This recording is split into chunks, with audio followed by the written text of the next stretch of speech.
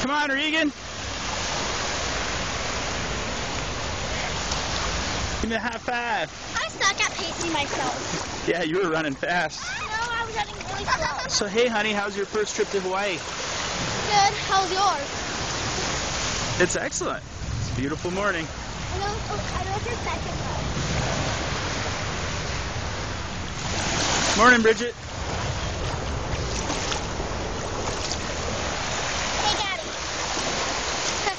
Looks like